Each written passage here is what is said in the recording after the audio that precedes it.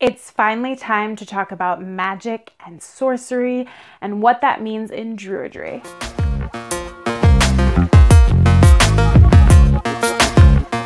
Hey there, saplings! Welcome back to Esoteric Moment. I've had countless comments and messages asking me to talk about magic and witchcraft and sorcery. This is such a big topic to cover, so I'm going to do a whole series of videos on magic. This is the introductory video, of course, but you will be seeing videos that go into specific types of magic over the next couple weeks. The book reviews that I do during this time will also have an emphasis on magic and witchcraft in a Celtic or Druid path. Before we get into the meat of it, I do want to emphasize that not all Druids practice magic or witchcraft. You can totally be a Druid without doing any spellcraft, and if you do lots of it, it totally works in a Druid path.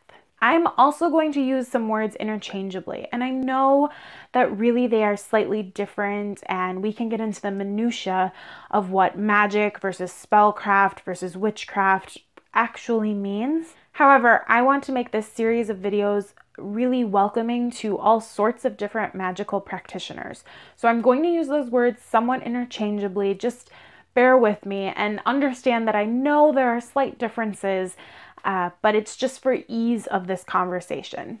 I'm going to talk about two kind of major categories of magic. I'm going to call it folk magic on one hand and high ritual magic on the other hand. For me, folk magic is that small, quick magic that is really easy to incorporate into all sorts of tasks that we do on a regular basis. Folk magic to me is the healing tea I make for a friend. It is the wish on a shooting star. It is that magic where I'm focusing my will onto a specific outcome. And I might incorporate some small symbols or ritual practices like physical things I'm doing, but it doesn't take a lot of prior planning and it's really fast. The outcome to folk magic is usually on a smaller scale but happens faster for me. Ritual magic, on the other hand, for me is something that I don't do as often, but when I do it, I go all out. I will take time to plan in my journal specific ritual. I might write out a script.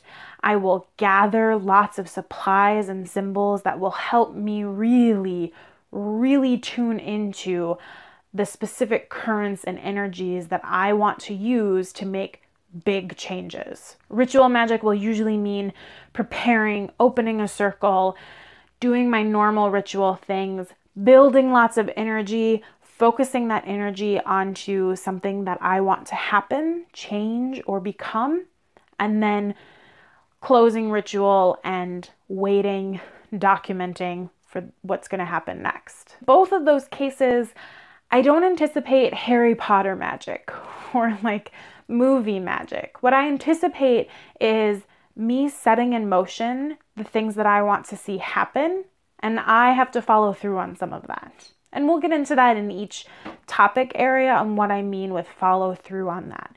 Like my daily practice, like Druidry in general, I don't think magic is an armchair practice. I don't think it's just buying crystals or even just buying a spell kit. I think you really got to do a lot more work outside of that action or item.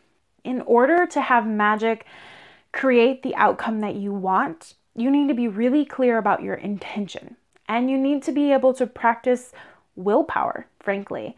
If you're the type of person who says you want to do something but then never, ever does it, and you can't hold yourself accountable or even find someone else to help you stay accountable, magic is not going to work for you, in my opinion. Magic is the combination of using symbols and inspiration and your own willpower to see things happen.